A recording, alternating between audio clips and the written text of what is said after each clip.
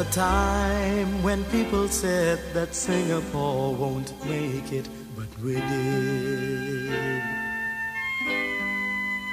There was a time when trouble seemed too much for us to take, but we did.